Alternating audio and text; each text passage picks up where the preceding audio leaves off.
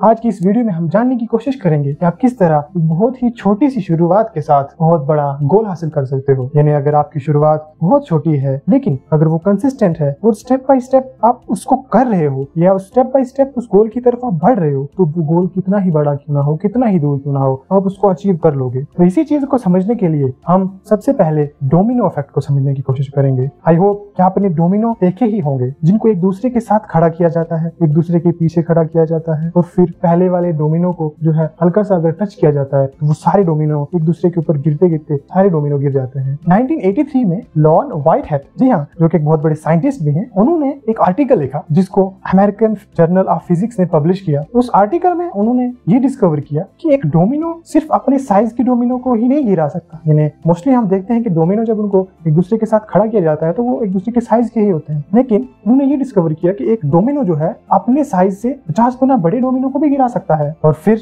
2001 में इसी चीज़ को प्रैक्टिकल किया गया। यानी जो उन्होंने थ्योरेटिकली कहा था, उसको जो है प्रैक्टिकली प्रूव करने के लिए एक एक्सपेरिमेंट किया गया। तो सैन फ्रांसिस्को में साइंटिस्ट ने प्लाईवुड से आठ डोमिनो बनाए और हर दूसरा डोमिनो पहले वाले डोमिनो से साइज़ भी पचास गुना बड़ा था। यानी आठ में से पहले डोमिनो का साइज़ दो इंच था और लास्ट वाले डोमिनो का साइज़ लगभग तीन फीट अब सबसे पहले वाले डोमिनो को हल्का सा पुश किया तो विद इन सेकंड सारे डोमिनो गिर गए। और ये प्रूव हुआ कि किस तरह एक दो इंच के डोमिनो ने जो सबसे पहले लगा हुआ था जिसको पुश किया था, उसने तीन फीट वाले डोमिनो को गिरा दिया। तो इस तरह साइंटिस्ट इस कंक्लूजन पे पहुँचे कि जिस तरह से हमने इनको अरेंज किया था, यानी पहला डोमिनो दो इंच का था और लास्ट वाला डोमिनो यानी एस्ट डोमिनो जो था, वो तीन फीट का था। तो इसी तरह वो कहते हैं कि अगर हम इसमें और ऐड करते और जब हम ट्वेंटी डोमिनो ऐड करते तो उसका साइज़ जो है वो एफिल टावर की जितना होता। और फिर जो थर्टी डोमिनो होता, यानी इकतीसवां जो डोमिनो होता, उसका साइज़ माउंट एवरेज जितना होता। और फिर इसी तरह फिफ्टी नंबर का जो, यानी फिफ्टी नंबर का जो डोमिनो होता, उसका साइज़ लगभग इतना होता जितनी के